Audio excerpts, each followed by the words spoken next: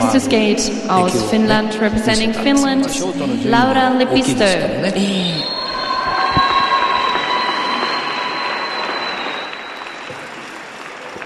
グループ3の最後の滑走者フィンランドのラウラ・レピストですショートプログラムは12位でした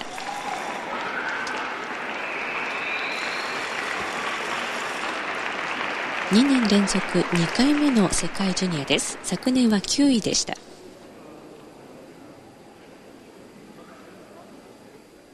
彼女は今シーズンはスタートが遅れたシーズンでした。怪我があったためになかなか練習ができなかったシーズンだったそうです。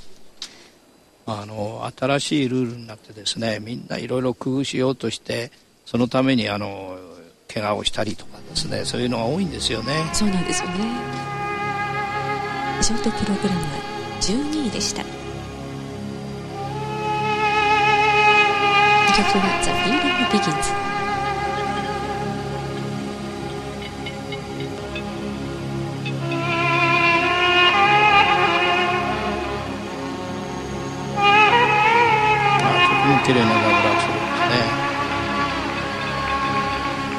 これはおそらくジャッジはプラスワント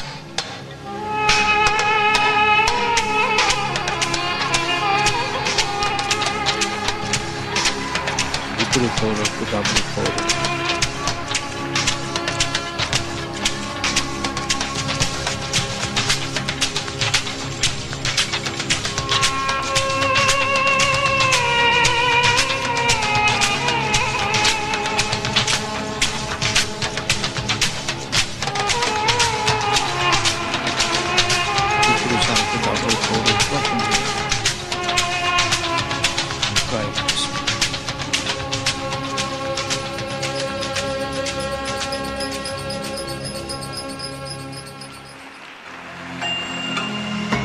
ここまではとてもいい出来ですね。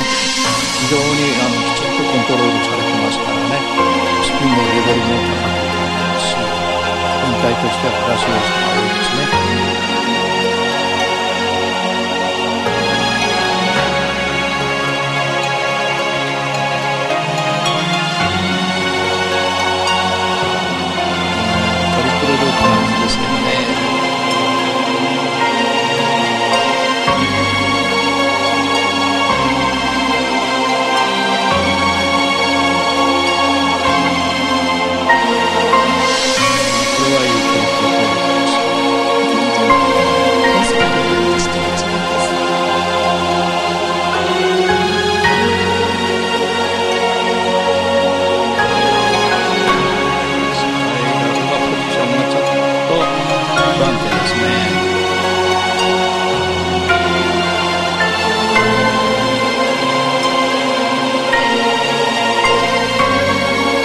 ス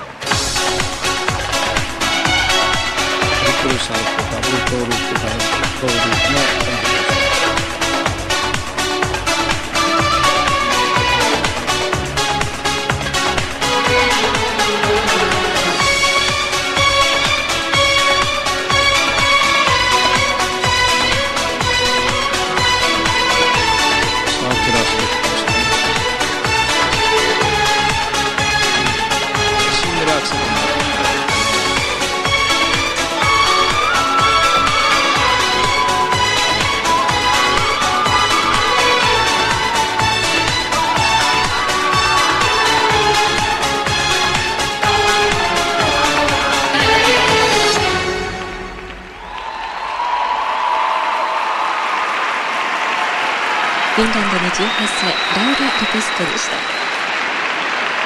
あのスピンは良かったんですけど、ね、ラウラレピスト。その前の、まあ、アクセルがねシングルになってミスではないんですけれど、まあ、点数としてはシングルですから非常に低い評価しかないですよね。そうですね、えーそれと同時にあのサーキュラーステップもねもう一つ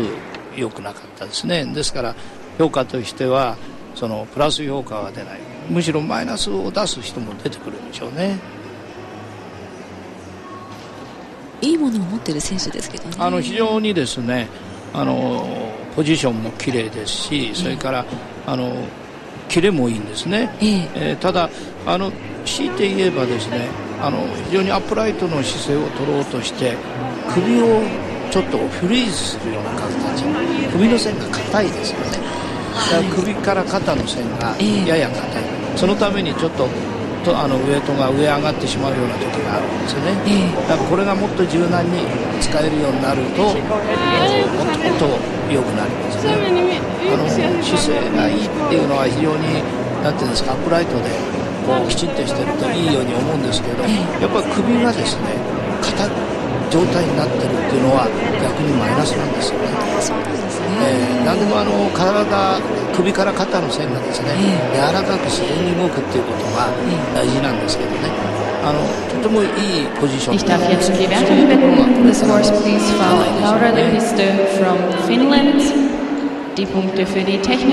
ろがそ 46,48. フィン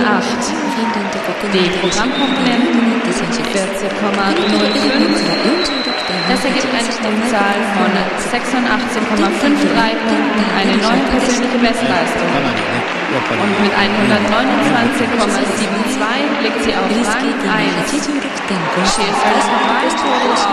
129.72 points and is currently in first place. Thank you.